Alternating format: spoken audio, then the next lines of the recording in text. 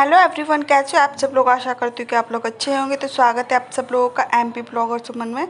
तो जो भी सामान सट्टा सब नीचे आ जाता है कभी कभी हमें ज़रूरत पड़ती है, फिर हम ऊपर रख मतलब रखने का हमें याद भूल जाता है। तो मैं, मैंने सोचा कि उसको पहले रख देती हूँ, क्योंकि एक्स्ट्रा सामान अगर किचन में आ जाता है ना तो किचन बहुत भरी भरी लगती है। लेकिन खाली किचन और एकदम साफ़ सुथरी किचन ज़्यादा पसंद है मुझे। तो जो भी चीज़ थी वो भगोनी भगोनी बड़ी वाली तो सारी चीज़ मैंने ऊपर रख दिया जब ज़रूरत पड़ी थी तब मैंने उसको निकाला था। और अभी हो रहा है शाम का टाइम बज रहे होंगे आठ करीबन। तो रोटी वोटी बन चुकी थी हमारी तो मैंने कहा, चलो यही काम कर ले। और पीने वाला पानी आ गया था। यानी कि पीने वाला पानी चल रहा था नल में अभी। तो मैंने कहा, जितनी भी बोतलें हैं, उन सबको मैं ढूंढ ढूंढ के भर रही थी और साथ में किचन को भी क्लीनिंग कर रही थी। तो ये देख ली जितनी भी बोतलें मैं भर के रख देती हूँ यहाँ पर ही। और क्या होता है कि हम लोग फ्रिज में से बोतल से पानी पीते ना तो हम लोगों को बोतल की ही आदत लग जाती है पानी पीने की। तो हम लोग सादा भी पीते हैं ना बिना फ्रिज का तो अभी हम बोतल का ही पीते हैं। तो ये देख लीजिए, बोतल सारी भर के रख दिए और आज बने हैं दाल चावल और मेरी बहन ने बनाए हैं और उसके बाद मैं किचन क्लीन करने के बाद आ गई हूँ अंदर की रूम में। तो मैंने सोचा था कि यहाँ के कपड़े बहुत ज़्यादा इकट्ठे हो गए थे, क्योंकि मुझे काम के चक्कर में मैं वीडियो भी नहीं डाल पा रही थी, दूसरे की वीडियो पे भी नहीं जा रही थी।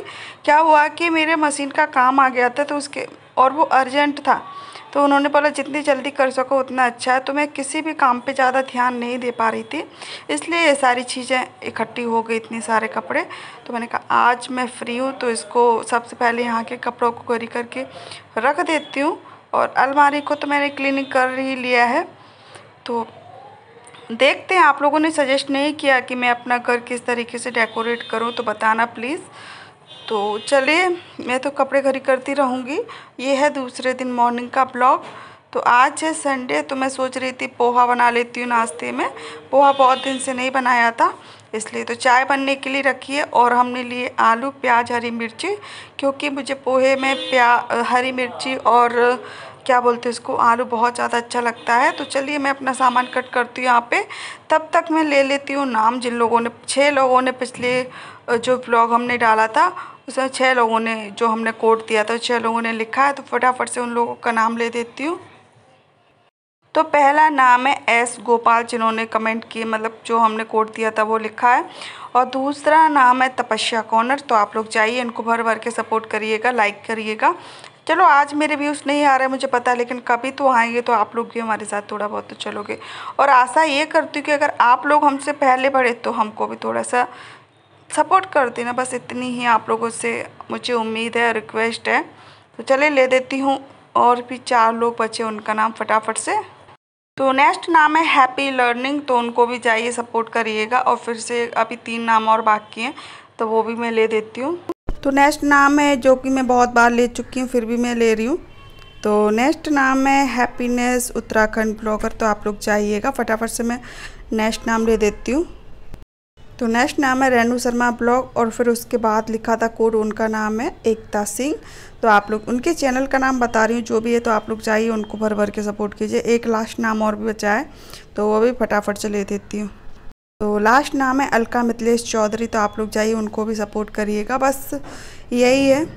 और फ्रेंड, पता है, एक बात मैं आप लोगों के साथ शेयर करना चाहती हूँ, क्योंकि मैंने देखा है जो गाँव में बहुएँ होती हैं, उनको अपने घर की छत तक देखना नसीब नहीं होता है, पता है?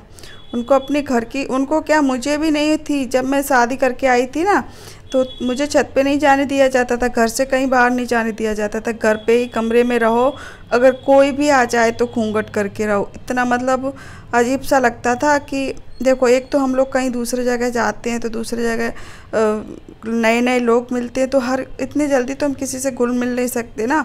और दूसरा फिर हम अपना घर छोड़ के आते, सब रिश्तेदार, सहेली माँ बाप भाई बहन सबको छोड़ के आते हैं तो भाई उसी हिसाब से और उसके बाद फिर मैं सच बता रही हूँ, मैं तो चलो फिर भी जाने लगी थी छत पे, लेकिन अभी तो बहुत लोगों को मैंने देखा जो हमारे मायके में जो पड़ोस में रहती हैं, वो अपनी छत पे नहीं आती कभी भी कपड़े सुखाने के लिए भी।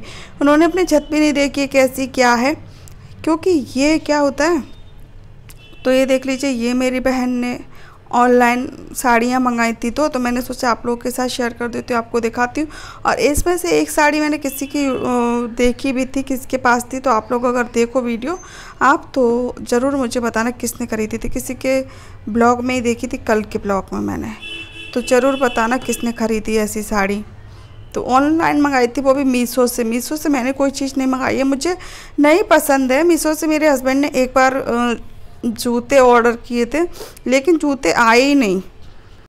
तो ये डेट दी थी उसमें उसमें से वो डेट भी निकल गई और उसके बाद आए नहीं चार पाँच दिन और भी एक्स्ट्रा हो गए, फिर हम लोगों ने ऐसे ही दुकान से ही खरीद लिया। मुझे नहीं पसंद है। क्या होता है कि फ़ोटो में पता नहीं चलता ना कौन सा कपड़ा, ये देख लो, साड़ी का कपड़ा ज़्यादा खास अच्छा नहीं है। जब तक कपड़ा, जब तक साड़ी सॉफ्ट ना लगे पहनने में ना तब तक अच्छा नहीं लगता। ये कपड़ा थोड़ा खुरखुरा मतलब कैसा बोले, थोड़ा मोटा है तो ये नहीं अच्छा लगेगा पहनने में। तो दो साड़ियाँ ऑर्डर की थी उसने, दोनों के ही कपड़े अच्छे नहीं आए। और ऑनलाइन में क्या होता है कि हम लोग कपड़े को हाथ लगा के नहीं देख सकते हैं, कैसा है, क्या है।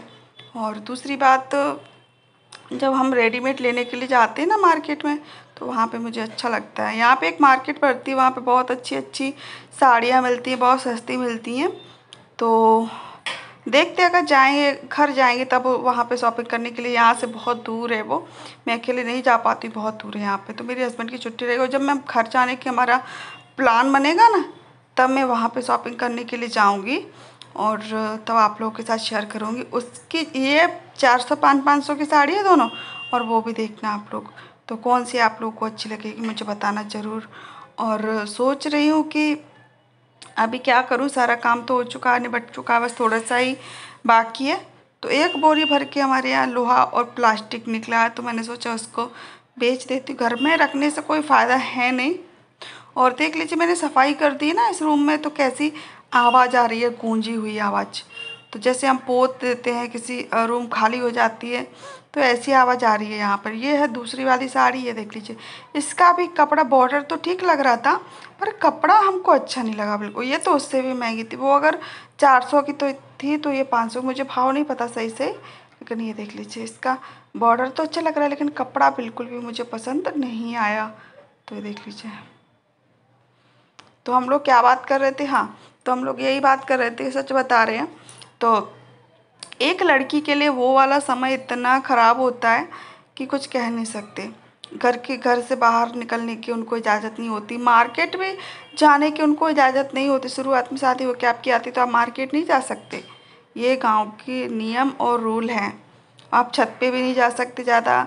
अगर छत पे जाना भी पड़े किसी कारण तो आपको एक हाथ का घूंघट करके जाना पड़ेगा। और मैं बताऊँ ना, अगर मैं अब गाँव में जाऊँगी ना तो डेली ब्लॉगिंग करूँगी और डेली का डेली ब्लॉग अपलोड करूँगी और मार्केट पार्ट के मतलब मार्केट, वार्केट, घर, खेती गाँव, सारी चीज़ें आप लोगों के साथ शेयर करूँगी कि वहाँ का रहन सहन कैसा है और वहाँ पर कैसे रहते हैं, कितना बड़ा घूंघट करके रखते हैं और किसके सामने घूंघट करते हैं और किसके सामने नहीं करते। ये सारी चीज़ें अगर आप लोगों को देखना है तो बस एक ही काम करना पड़ेगा, चैनल को सब्सक्राइब करना पड़ेगा तो फटाफट से कर लीजिए और बेल आइकन को भी ऑन कर लेना जिससे जो भी वीडियो डालूँगी ना उसका पता आपको चल जाएगा ठीक है? तो वो कपड़े थे वो पहले के थे और ये है आज सूख गए थे। तो मैंने कहा चलो इनको घरी करके रख देती हूँ। क्योंकि अभी मैं फ्री हूँ कोई काम वाम है नहीं मेरे पास क्योंकि आ, मशीन का काम तो अभी आ नहीं रहा है क्योंकि दिवाली आ गई है। तो बस यही है दिवाली का डेकोरेशन थोड़ा सा वहीं करेंगे जहाँ पे पूजा करेंगे वहीं पे। वैसे भी यहाँ की रूम मुझे खाली करनी है। ये रूम खाली करके हम लोग को गाँव शिफ्ट होना है थोड़े दिन बाद, इसलिए। तो चलो, कपड़े घर ही हो गए उनको लाती हूँ और ये यहाँ पे, डेली के कपड़े मैं यहाँ पे रखती हूँ, अलमारी में नहीं रखती हूँ, ठीक है? तो ये देख लीजिए।